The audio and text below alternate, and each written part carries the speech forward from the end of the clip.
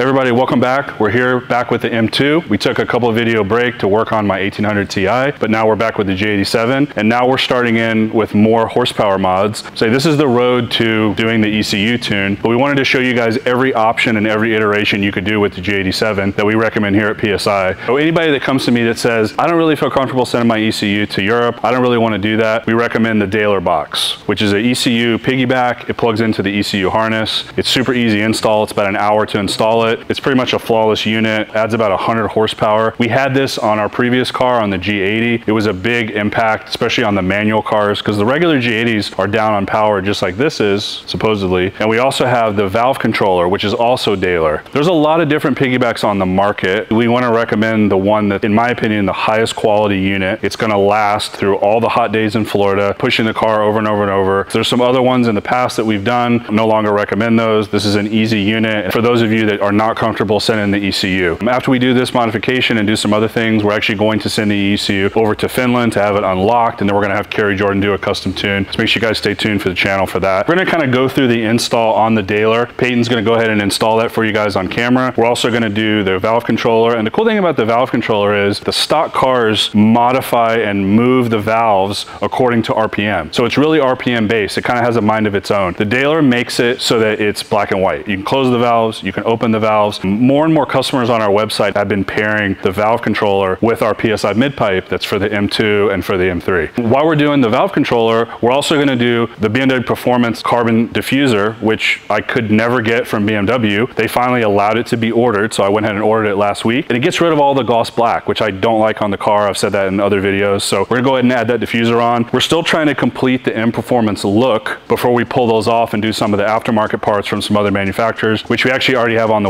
So now let's get into do the, the Dahler controller for the ECU.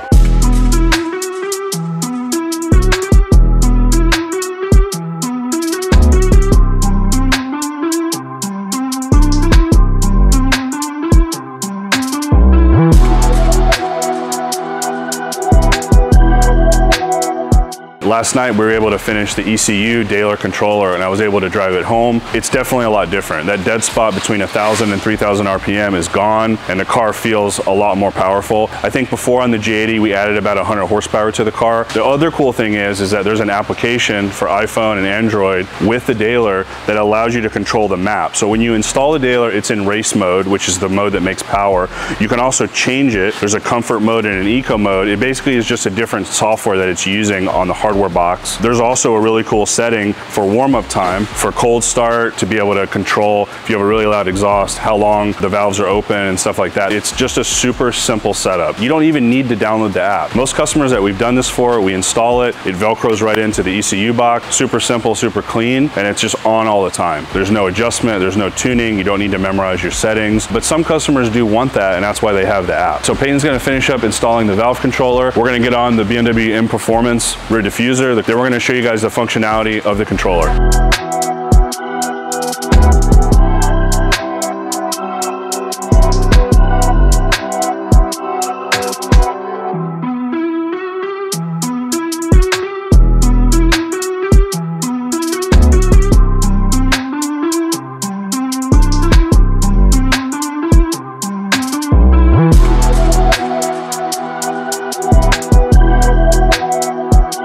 Okay, so to recap everything that we've done for this episode with the G87, we did the carbon fiber M Performance diffuser, which looks super sick, gets rid of more of the black plastic, which everyone knows that I don't like. Really makes the back end look more kind of like the G80, G82 cars with the carbon pack. We did the Dahler piggyback unit, which is an ECU piggyback, plugs into the OEM harness, gives us just over 100 horsepower. We're gonna be taking the car to the dyno with all the current mods that are on it. We're also gonna be adding the Eventuri intake, which is on the way from Eventuri. The last thing that we did was the flaps, the Dahler flap controller, which pairs well with our mid pipe. It actually allows the valves to completely open, which a lot of people know on these cars, they never actually completely open. So it gives you the option to have an even louder version of our mid pipe. So it's a cool add-on. In addition to it making it louder, it also fully closes the flaps for neighborhood. All right, so we're gonna close out the video by demonstrating the cool remote that works with the flap to fully open and fully close the valves with the PSI mid pipe. Thanks for tuning in for another G87 M2 video here with PSI.